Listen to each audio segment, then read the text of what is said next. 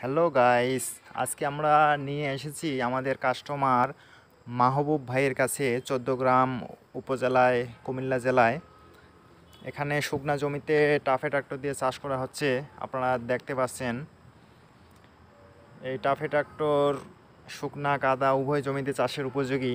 তাই আপনারা ভিডিওটি না টেনে সম্পূর্ণ দেখতে থাকুন, তাহলে শুকনা জমি চাষ বুঝতে পারবেন।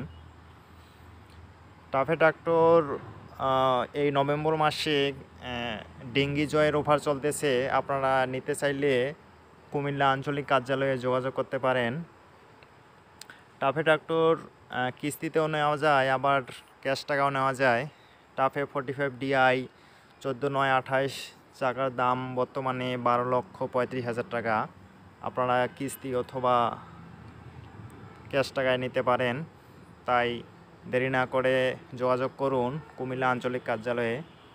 আপনার ভিডিওটি সম্পূর্ণ দেখতে থাকুন। ধন্যবাদ।